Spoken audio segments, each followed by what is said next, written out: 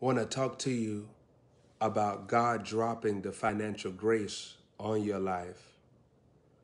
And when that grace comes on you, everything becomes easy for you to obey God concerning your finances, for you to listen to God concerning helping the gospel go forth, and for you to steward money without money stewarding you, so that you could hear the Spirit and what the Spirit is saying about the money rather than what you want to do.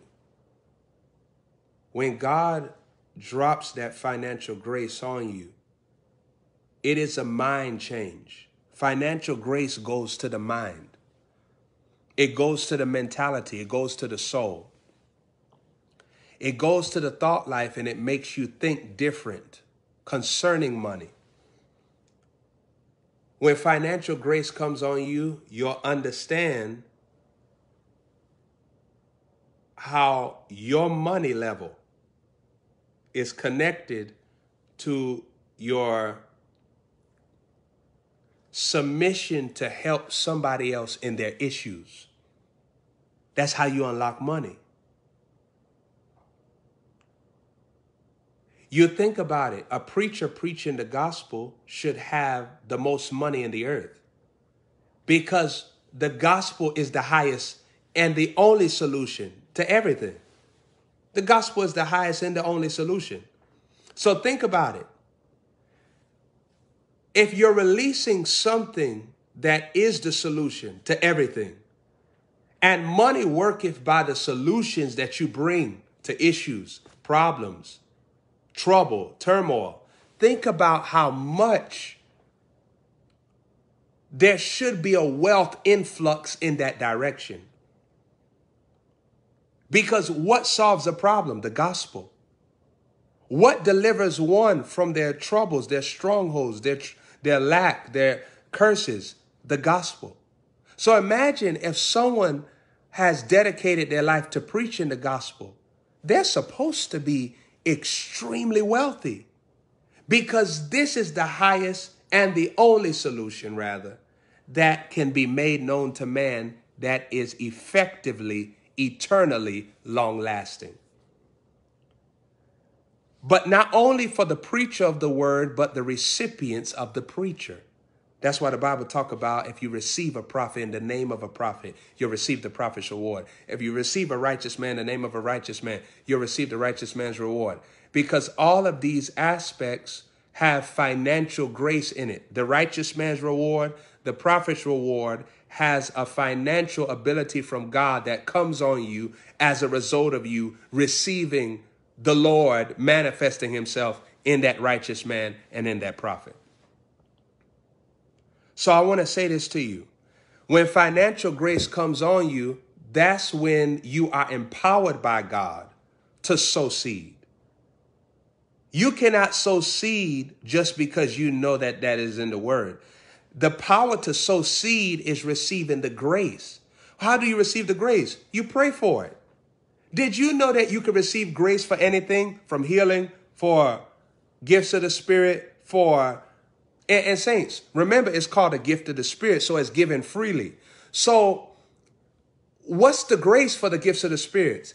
It, it, it is for you to realize how to flow in that gift. So the grace reveals to you how the gift works. But it doesn't utterly like pay for the gift because it's already paid for. That's the power of Jesus' blood. But the grace shows you the pathway for you to walk in it. The same way, seed sowing is not you utterly paying for the blessing of God. The blood has paid for the blessing. But see, the grace of the blessing is for a sower to sow. So watch this. In Genesis, God had already gave Adam a garden. God had already made provision for him. But God says, I'm going to give you this herb bearing seed because that was the grace of what God had already gave him. Hallelujah. Hallelujah. So God had already given him heaven on earth, but the grace of that heaven and earth was in the seed. So every time he sowed the seed, he was telling God, I agree with your plan to give me heaven on earth. So when you sow in seed, you're coming into agreement with what God has already said, what God has already planned.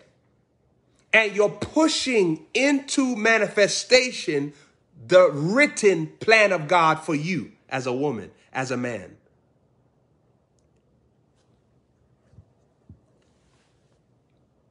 Financial grace empowers you to honor God. You don't know how to do it apart from financial grace because the flesh is adversarial to the seed. Your flesh does not agree with sowing. Your flesh agrees with spending, it agrees with saving, it agrees with robbing God, but your flesh is not in agreement to sow. So you have to receive a grace because the grace breaks the law of sin and death, which is in the flesh. When you receive the grace, the grace empowers you to do financially what your flesh would oppose you doing financially. Because the grace is overriding the words, the thoughts, the systems that have put a veil over you from moving in the kingdom system. So, what happens when you receive financial grace? You get set free from the tradition of men that have made the word of God about wealth none effect. The tradition of men that have made the word of God about honoring God none effect. When you receive financial grace, now you receive the power to shatter the chains of religiosity. So, the same way religiosity paints a picture that money is evil, and the less money you got, the more holy you are, the more righteous, the more pure you are, the more genuine you are. Isn't it funny? Like people think that if nobody talks about money, that they're preaching a genuine gospel. But what good news did Jesus come to bring to me if all you're telling me that he could set my soul free, but I must be hungry. I must suffer forever in my provision. I must always be the borrower and not the lender. How is that good news? Because even the word says that you are the head and not the tail, above and not beneath. You shall lend and not borrow. All of those come from financial grace.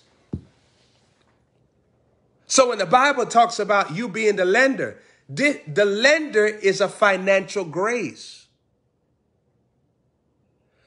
The financial grace of the Holy Ghost is so powerful and massive that when it comes on you, you will become sensitive to time. You will become sensitive to your words. You will become sensitive to your thoughts. You will become sensitive to your expectations. You'll become sensitive to who you allow into the intimacy and the privacy between you and the Lord. Because the financial grace is a wisdom to understand what stops money and what permits money, what blocks finances and what unlocks finances. The financial grace is a wisdom that sits in your soul to begin to rightfully look at what is yours and to follow the protocol to manifest it, obtain it, and enjoy it in this life correctly. And see, the financial grace puts a frustration on you. It makes you realize how is it that the generations before me did not achieve this? What out of all of their Bible reading and scripture speaking and church going and fastings and prayings, what did they not do to not live out the blessing of Abraham? Why didn't the blessing of the Lord make them rich in physical? Why was Abram very rich in silver and gold in Genesis 13? Why weren't they very rich? So, what happened? Where was the breach? And then the quickening power of the Holy Ghost. He'll alert you that you have to be aggressive about surrendering your finances to Him. And you have to do that, not looking for a feeling, not looking for support of flesh and blood, but realizing that this is your destiny to sow into God. This is your job in the Holy Ghost to sponsor kingdom advancement. That every time you sow a seed, there is a harvest that God has now set place as your reward. And it's going to come to you no matter how long you think it's going to be or what, what. Nothing can stop it from getting to you only if you lose your faith in the seed. That's why it says you will reap. Don't be weary in well doing. Don't be weary in sowing because you will reap. How could you reap without a seed? So the whole matter is you can't lose your faith in the power of God that works through the seed.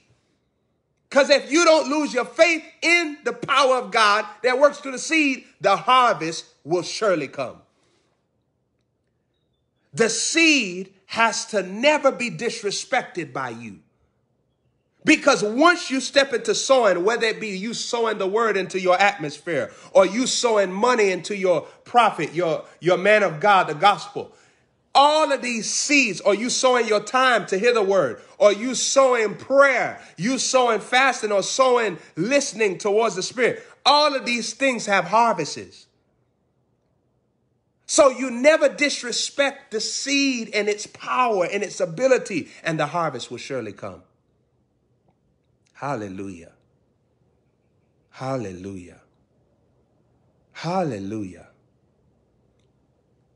Seed sowing will not leave any man without a harvest. And the power of harvest is that God doesn't give you one harvest. He gives you multiple harvests, but you even got to be so so wrapped up in the Holy Ghost that the Holy Ghost could show you, hey, this is a harvest. Some people will meet their man of God. Man of God, you know, I'm looking for God to give me a harvest. You meeting the man of God is a harvest.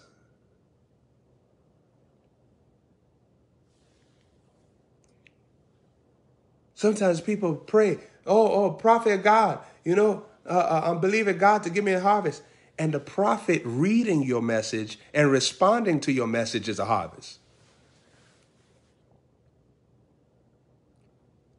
So, financial grace is the Holy Ghost giving you wisdom of even where harvests are happening in your life where you haven't praised God. If you wake up tomorrow, it's a harvest. If you go throughout all of your day, you didn't get in a car accident, you got all of your limbs, you, you're not in the hospital. You, you're not dead. You're not dying. All of these are harvests. But see, when financial grace is on you, you're a seed sower, you're listening to the Spirit. Now you'll even start detecting how when you honor God, there's so many multitudes of harvests that overtake you in a day. Having a job is a harvest.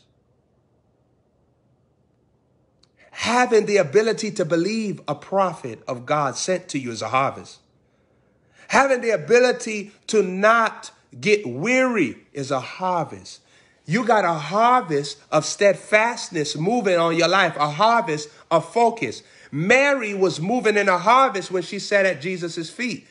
She didn't listen to Martha because she was moving in her harvest. She received the harvest of being a virtuous woman. See, a harvest affects your character as well.